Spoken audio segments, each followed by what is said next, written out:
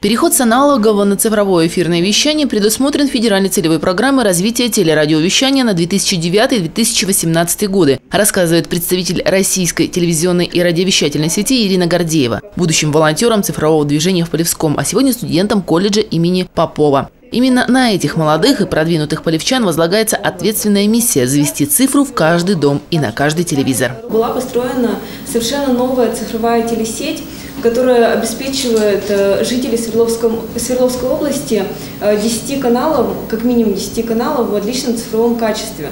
К концу области таких каналов станет, э, к концу года, прошу прощения, таких каналов станет 20. Итого в нашей области 20 телеканалов совершенно бесплатно будут доступны жителям нашего региона. Это действительно большое благо и прорыв, э, можно сказать, что эра цифрового вещания. Полномасштабный запуск цифрового эфирного телевещания стартует с 1 января 2019 года. В это же время начнется сокращение аналогового сигнала, декларирует Ирина Гордеева. Цифровое вещание позволит людям получить бесплатный доступ к 20 телевизионным и трем радиоканалам в хорошем качестве. Но к встрече с цифрой цифрой зрители должны быть готовы прежде всего технически. Большое внимание, как правило, уделяется подключению старого телевизора. А, для того, чтобы подключить старый телевизор, а, необходимо в приставку, приставку с тюльпанами, которые, как правило, идут в комплекте, с телевизионным устройством. Соединяется по цветам, по цветовым индикаторам, как в приставке, так и в телевизионном устройстве. Затем в приставку подключается антенный кабель, э, комнатная антенна. И далее управление идет с пультика приставки.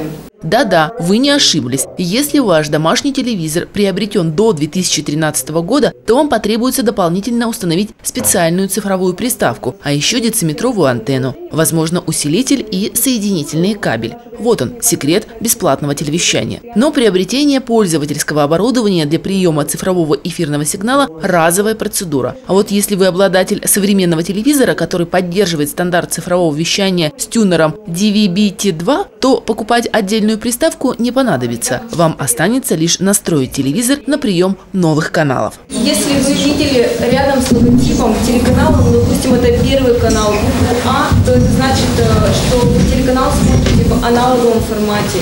И до конца 2018 года вам необходимо э, принять меры для того, чтобы в 2019 году, после новогодних праздников, вы продолжили смотреть телеканалы. Вот один из самых простых, доступных способов – это перейти на цифровое вещание.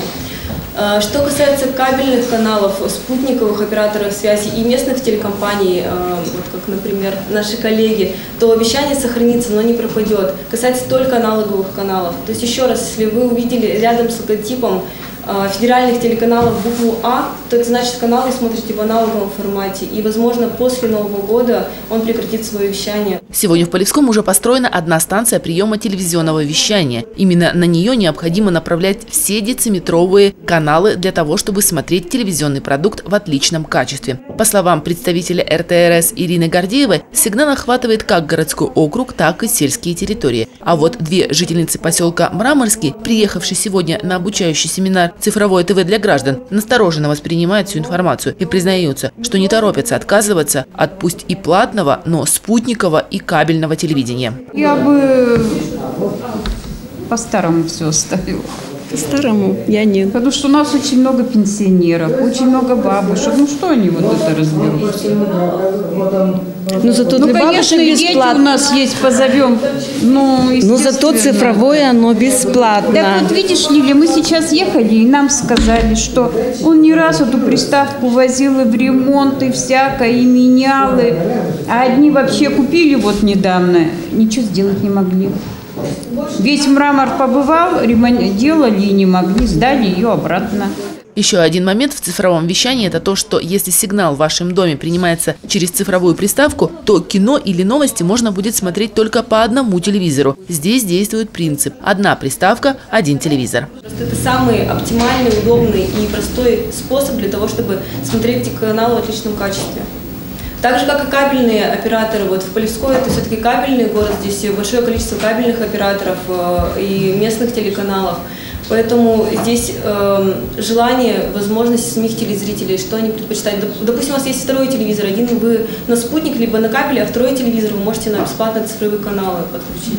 Максим Хлопов, студент радиоколледжа, выслушав всю информацию и получив подробную инструкцию по применению цифры, задумался сразу над несколькими вопросами. Это как-то, не, мне кажется, не особо большой шаг от налогового телевидения, потому что, ну, даже взять погодные условия, мне кажется, если какой-нибудь сильный ветер или что-нибудь еще, антенну опять же сдует, и опять будет плохой сигнал, и опять же бабушка не пойдет, если, к примеру, антенна на улице. Ну, и подключение, не знаю, то есть сейчас у большинства людей э, есть интернет, то есть подключение даже у бабушек есть интернет, потому что там как-то родственники пытаются э, связываться с родителями, и э, при подключении то есть, того же интернета многие провайдеры делают э, телевидение бесплатным. И как бы в чем преимущество, тогда я не, знаю. Ксения Балденкова, Алексей Карипанов. Новости «Твой день».